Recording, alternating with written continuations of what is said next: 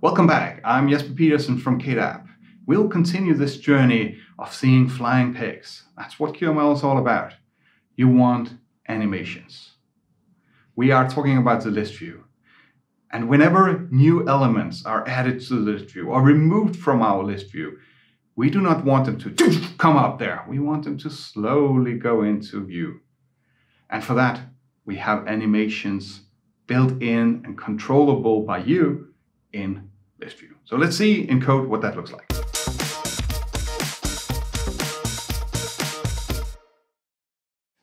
I got an example over here. Let's just run it right away so we can see what it looks like. We got a simple list view with a number of items. Did you see what happened when, when I started it? Pay attention to the screen, not to my face now. I'll start it again. Did you see how Alice, Bob, Jane, Victor, and Wendy dropped down from the top? Well, Alice didn't because Alice started up, started out at position zero, zero, and the rest actually had to fall down. But that is the first animation that we have in here. Now let me click on Bob and a new item appeared on top of Bob, namely item number five. Click on Jane, item number six on top of Jane. It didn't just come in right away. It animated with the whole list view below, um, item, below the new item six scrolling down and the new item six growing into existence. So let's see what all of how I achieved how, I achieved all of this in code. First off, I got a rectangle. We've seen those quite a few times. Here's my list model. We've seen, seen that too.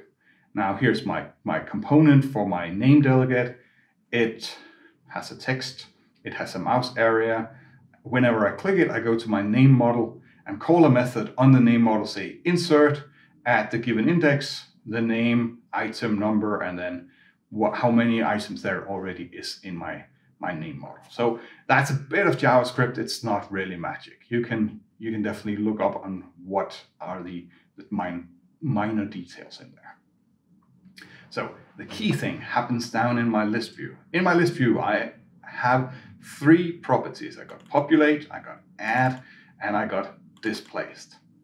Populate is a property with a transition. And if you don't know what a transition is, that means that you skip the video just a few, few videos back. I'll add a link just now where you can see what exactly is this transition all about. My transition is a number animation that animates the X and the Y properties for 300 milliseconds. It's kind of cheating that I animate the Y because my, my, my sorry, it's kind of cheating that I animate my X because it's not going to change at all.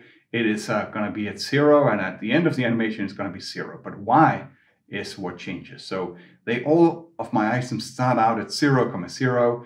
And if you remember Wendy, she had to run the furthest to get to her position further down. So this is my animation for how I populate my, my list view. Whenever I click on my on, on an item in there, I added a new item. We saw that up here, onClicked, name model insert. So I added a new item the new item will be added using another transition. And this transition actually has three parts. It has a property action, it has a number animation, and another number animation. Let's go and look at the last two first. So the number animation for my, for my, uh, for this number animation here, I'm changing the opacity from zero to one. So it fades in, it's totally transparent, and then it comes in and it's a, 100% uh, non-transparent, whatever that's called, and the animation takes 200 milliseconds. In the same 200 millisecond, we scale in the item, so it starts out at zero and it ends at one. So I scale from 0% to 100% of the item in the same 200 millisecond.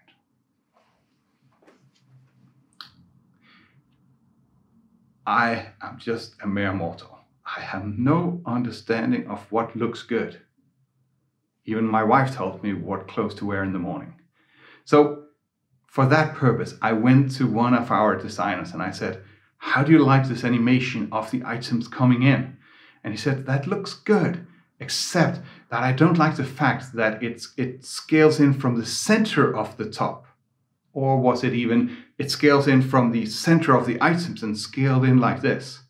I want it to more have an effect of dropping down. So it should scale from the topmost leftmost, that's going to be up here in your, in your view, topmost leftmost, and then scroll in like this.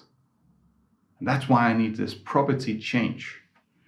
The property change or property action here, the property action simply says, I want to change my transform origin as soon as the new item has been created. I want to right away change the transform origin to be item.top left. And a property action is not something that animates, it just happens right away. So right away I change my transform origin and we can just try and see what it looks like if it's not in there. Not in here. And if I click on a new item, you can see it kind of starts in the center and goes out. So if you if you look closely, you'd notice you cannot look closely. I can help you look closely. Remember our little friend GammaRay. Gamma Ray quick scenes enable slowdown mode. Now I click here on Bob. I click on Bob.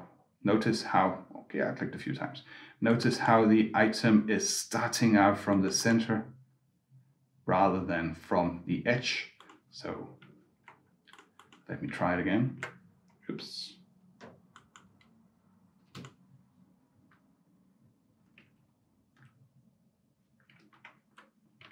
Let me try it again this time with those lines in.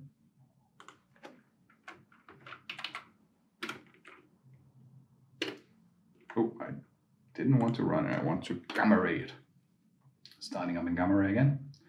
Slowing down my animations. And now you can see when I click here, it starts up at this topmost leftmost corner of the items and scrolling. That's exactly the feature that my designer said, I'd like that instead, and that's why I need this property action that we have in there. A new item is added. That new item is need more space. And of course, the items underneath it needs to go away so that there is more space for it. But how do we make those items that are displayed, displaced, how do we make those move away? That's what I specify in my displaced property here. There's another transformation here. I got a number animation again, 200 millisecond, and uh, I am I am displacing the element, meaning it's moved away. So I'm animating my x and y, y coordinates. I got another line here that took me quite a bit of uh, reading up on the documentation before I learned. So, hey, you saved a, a, a half a day of work by just watching these uh, 10 minutes of video here. With this line, let me try and comment it out and you can see the effect once I start my application. Let me just move it in here and I need to be really careful clicking here. So I click and and the item comes in. Let me see if I can do this really fast I cannot do this. Real there we are. So when I, if I click really fast, then within those 200 milliseconds, if I can click before those 200 milliseconds are done, then the item that was on the way in, the, the item that had its transition for add executed, had to be stopped because now it was all of a sudden being displaced rather than added. And without this line down here, what you'll see if I scroll down, you can see item number eight is grayish and smallish. And the reason why it's grayish and smallish is that this transition here didn't run all the way to the end. So it ended with an opacity of, what do I know, 70% and a scale of 70%. See, it's not completely full size. It's not completely uh, the size of, uh, of the, or the, the opacity of, it's not 100% yet. And that is where we need, whenever I start my transition, the first thing to do when I start my transition is Let's get my opacity and scale into full value. So just in case I started a displacement before my add transition was done, I at least reset my scale and my opacity to be 100%. And now I'll try again with this magic finger that can double click so fast that I can get new elements. And I'll do that uh, 20 times and then we can scroll through it and validate there are really no item in there that is not fully created. Let's see. Click it, click it, click it. Yeah, that should be it. 24. And if I scroll down here, You can see, not a single one of them is not fully set up. Okay, that was it for animations in list views. You definitely want to create animations in your list view if it's possible for items to be added. And how do those items come around? Well, we had a name model here where I added the items. In your setup, once you've watched video number 46 or however far out it is when we talk about models from C++, at that time, your, your new items will come in on the C++ level and go up to the list view on the QML level. But you still need to animate it coming in so it looks good and just doesn't all of a sudden jump in the face of your, of your users. And why do we not want to do that? Simply because they might not notice if it just jumps in the face of them. You want this smooth animation of it coming in to bring their attention to it because that's how this little thing called an eye works it is super good at detecting motion. That's it, that's it for this video. In the next video, we will pay back a long-term debt that I have. Namely, I need to show you how to implement swipe in your application. So stay tuned, do subscribe to our channel, do send me a thumbs up. I promised my daughter, age seven years, that I would get at least 100,000 thumbs up. So please do on all your devices. You know what. See you then.